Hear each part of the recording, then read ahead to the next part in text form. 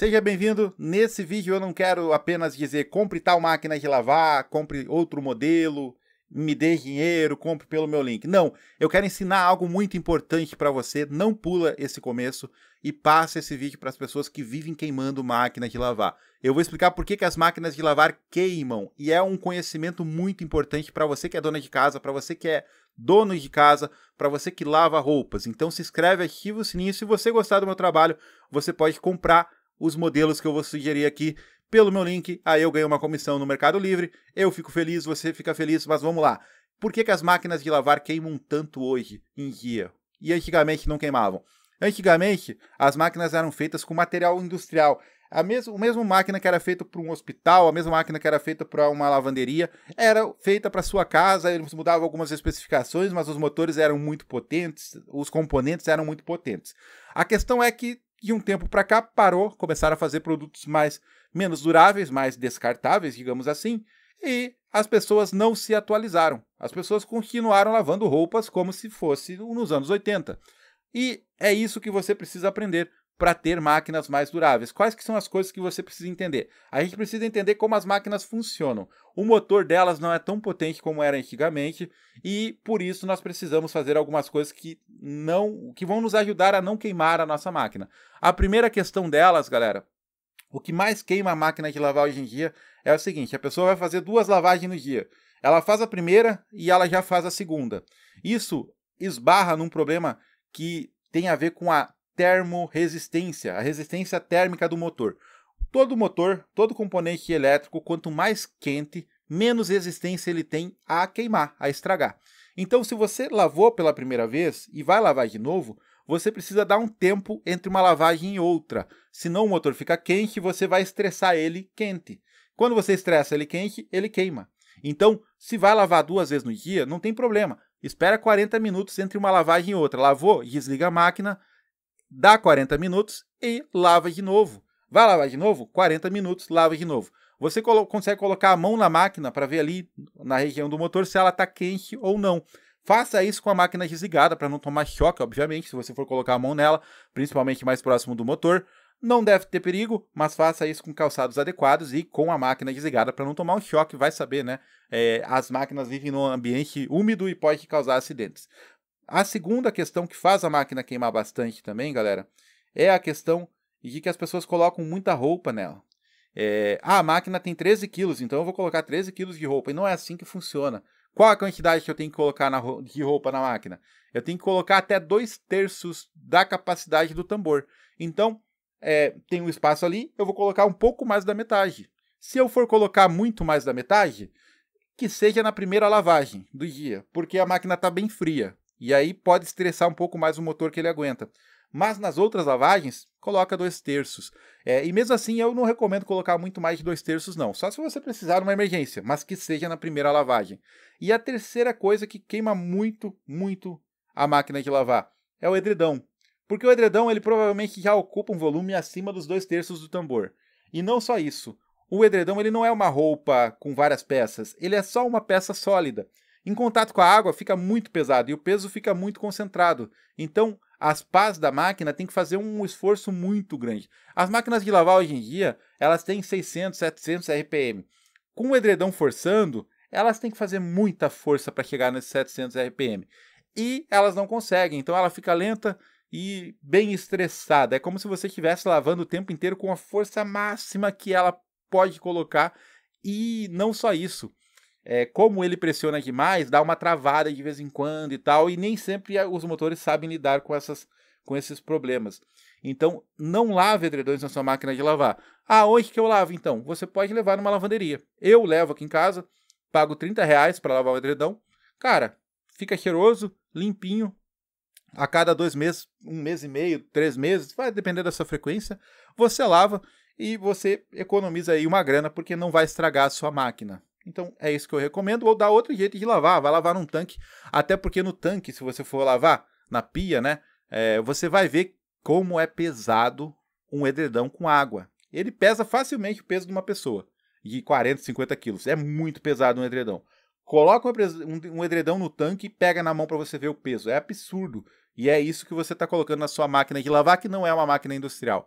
Então agora a gente vai aos modelos. Você gostou das explicações? Comenta aí, se inscreve no canal, dá essa força. E você já teve algum modelo? Qual o modelo de máquina que durou mais, na sua opinião? Comenta aí para a gente saber. Aqui, o primeiro modelo que eu sugiro é a Panasonic de 13 quilos.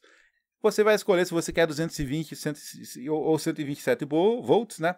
Ela tem um sistema de lavagem aqui chamado Cyclone, que não agita tanto a máquina, né? Sem agitar e tal. Ela faz menos barulho por isso. Oito programas de lavagem. Tem programas de economia de água, turbo secagem, ela sai bem sequinha mesmo, já vai no varal quase seca. Então é bem interessante para você que quer essa funcionalidade. O segundo modelo que eu vou sugerir aqui é a Electrolux Essential Care de 11 quilos. Cara, se você mora numa casa que não vai lavar tanta roupa, esse modelo dá tranquilo para você. Dois tercinhos ali, né, de roupa, um pouquinho mais do, da metade, né? Coloca água, não deixa passar da metade do, do, tambor ali, um pouquinho mais, né? Dois terços. E aí, cara, esse modelo aqui de 11 quilos, ele vai dar conta de muita coisa. É a quarta máquina de lavar mais vendida do Mercado Livre com uma avaliação de 4.8. Não tem como isso aqui ser ruim. É uma máquina bem interessante pelo preço que custa, muito barato. Se for comprar, dá essa moral, compra no meu link, cara. E aí, ó, tem até cupons aí de 150 de desconto. É só você clicar no meu link e ativar esse cupom. Então, tamo junto, dá essa força aí. Aqui nós temos ah, o mesmo modelo, basicamente muito parecido, só que com 12 quilos, um pouco mais caro. É outro modelo, né? Não é o mesmo modelo, mas parece, né? E aqui ela é ela tem 4.8 de nota, 13.600 avaliações também tá? 1 kg a mais, é, vai ter outras tecnologias aqui, 630 RPM é a média, tá? É, tá disponível nas duas voltagens, 110 ou 220, você sempre tem que escolher qual você quer, porque as máquinas de lavar não são bivolts. E aqui a gente tem uma Brastemp, cara. Brastemp é a marca que a minha mãe usa, tá? Estragou uma vez, queimou a placa, e aí eu aprendi, né? Com o técnico, ele falou, cara, não pode usar uma lavagem atrás da outra. E a minha mãe seguiu todos os conselhos e ela tá aí há anos, nunca mais estragou. E esse modelo, cara, é exatamente. Cara, eu acho que é igual que a minha mãe tem. É igual, igual da minha mãe. É, porque é 13 quilos também e é nesse naipe. Pode ter alguma diferença, porque é o modelo mais antigo. Mas esse modelo é muito durável se você seguir os conselhos desse vídeo, tá? Muito durável mesmo, tambor de aço inoxidável, a eficiência energética é boa, ela tem todas as características aí que você precisa. E, cara, uma das coisas que a gente gosta nela é que a roupa sai bem sequinha mesmo. E ela não é tão barulhenta. Ela realmente não é tão barulhenta. E tem um custo-benefício bem legal, na minha opinião. Tá? Vale bastante a pena. É uma máquina bonita, clean e que tem um custo-benefício bacana. Né? Não à toa, ela tem mais de 3 mil avaliações aqui no Mercado Livre. Um custo-benefício bem legal, bem legal mesmo. Aqui nós temos a Essential Care, que é a mesma que a gente viu lá de 12 kg, só que aqui são 14 kg. Não vai ter nenhuma novidade sobre ela, a não ser o fato de que ela é um pouco maior. Então, se você precisa lavar um pouco mais de roupa, 2 quilos a mais, faz uma diferença. Você vai poder lavar ali uns 10, uns 15% a mais de roupa por lavagem. O cesto aqui também já é de inox e tal. Então, dá essa olhada, 630 RPM. Você vê que eles aumentam o tamanho, mas o RPM ele continua parecido, né? Não é só isso que determina, né? Mas é, a centrifugação é 630 RPM, né? Então, interessante. É, até porque para lavar não precisa né, dessa potência toda para lavar, né? Ela só tem que bater, tá? Não vai, não vai lavar a 630 RPM nunca. Mas aqui é, a gente tem uma ideia da potência do motor e vê que não mudou muito de uma para outra, só muda mais a capacidade. Então dá para ir com a menor tranquilamente, tá? Não vai ser um upgrade tão grande pegar essa aqui com 14 kg do mesmo modelo da Electrolux Essential Care, que é a quinta máquina mais vendida do Mercado Livre. E aqui nós temos a máquina de lavar da Electrolux, a Premium Care. Aqui nós já temos é, 220 volts, né? Ela tem também sai de 127 volts. Não muda o preço, ó, o preço é o mesmo nas duas. Isso é legal. E, cara, aqui vai caber mais roupa, tá? A potência dela já é maior, sim. Por mais que os RPMs de centrifugação se mantenham, ele tem um motor mais potente para acompanhar o peso a mais, tá? A questão é que de 14 para 12 não tem tanta diferença. Agora, de 14 para 17 já tem uma diferença maior, tá? E a gente vê uma nota 4.8. Então vale a pena sim essa máquina, bem interessante para quem quer gastar assim até R$ 2.500 e ter uma máquina que lava até 17 quilos, né? Então você consegue lavar bastante aí, mesmo colocando dois terços de roupa, é muita roupa lavada, tá? E aqui nós temos a de 17 quilos também da também da Electrolux, né? Não, essa aqui da Panasonic, na verdade, Panasonic, né? Isso, Panasonic. E é a Smart Sense. Ela tem 255 avaliações, a nota é 4.7, só está disponível em 110 volts. Eu prefiro a da Electrolux, mas se você gosta de Panasonic, ela está um pouco mais barata, 2.200, então vale a pena, tá?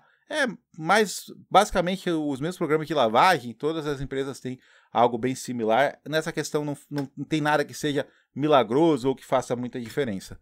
E aqui nós temos a máquina de lavar também da Panasonic, né? 2200, é o mesmo modelo. É o mesmo modelo. A diferença é que a variação está um pouquinho menor, mas é o mesmo modelo. Então, nessa questão aí. É, eu vou deixar todos os links divididos, né? Agora parece um gago falando, né? Perdão pela minha dicção. Mas todos os modelos divididos aí por 17 quilos, 12 quilos, 15 quilos. Eu espero que você tenha gostado desse vídeo. Comenta, se inscreve no canal, ativa o sininho. Tamo junto, valeu e fui!